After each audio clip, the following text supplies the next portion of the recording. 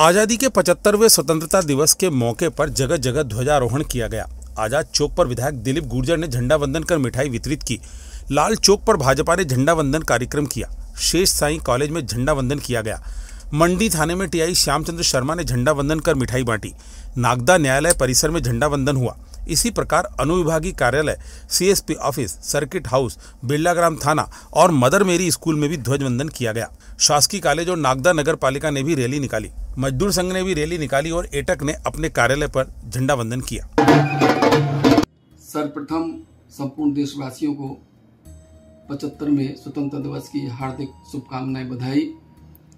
संपूर्ण देश में तिरंगा यात्रा निकाली जा रही है और मेरा यह मानना है कि तिरंगा यात्रा देश की सीमा से प्रारंभ होती है, जहाँ पर सैनिक तैनात हैं और वो शहीद होते हैं। शहादत के बाद तिरंगे को उनकी पार्थिव देह से लपेट कर उनके परिजन तक पहुँचाया जाता है। तब मैं कहता हूँ, हम सरहद पर शीर्ष कटाएँ, वो दिल्ली में ऐश करें, बहनें हों हमारी विधवा वो सिंदूर को कैश करें। सरहद पर किसी ने अपने बेटे, किसी ने अपने पति, किसी ने अपने पिता को खोया होगा।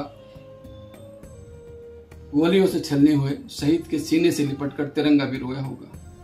मैं तिरंगा हूँ, मैं प्रतीक हूँ राष्ट्र की एकता और अखंडता का मैं प्रतीक हूँ, देश के मान सम्मान और स्वाभिमान का मैं प्रतीक हूँ, भारत के धर्म संविधान का। मैं वर्ष में दो बार लाल किले से फहराया जाता हूँ और वर्ष में सैकड़ों बार शहीदों की पार्थिव देह से लपेट कर उनके परिजन तक पहुँचाया जाता हूँ।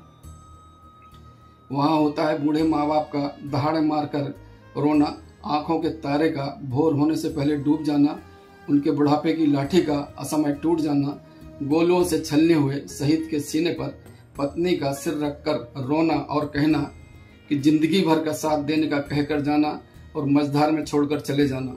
बेटी की डोल बेटी की डोली नहीं उठना बेटे के सपनों का अधूरा रह जाना ज़िंदगी के सफ़र में सहोदर का साथ छूट जाना रक्षाबंधन के ही दिन क्यों बहन से विधाता का रूठ जाना। बहन का भा, भाई की पार्थिव देह की कलाई पर बहन का राखी बांधकर अगले जन्म फिर भाई बनकर मिलने का कहना। मैं तिरंगा हूँ, मैं कहता हूँ, देश के ठेकेदारों से कि मुक्त करो मुझे ऐसे अत्याचारों से। हद हो गई सरहद पर, अब शीश कटाना बंद करो। नापाक के जन्मदिन पर बिना बुलाए जाना बंद करो। देश के दुश्मन चीनी को झूले में झुलाना बंद करो। काश्मीर के सांपों को अब दूध पिलाना बंद करो। नहीं तो मुझे तुम लाल किले से फहराना अब तुम बंद करो।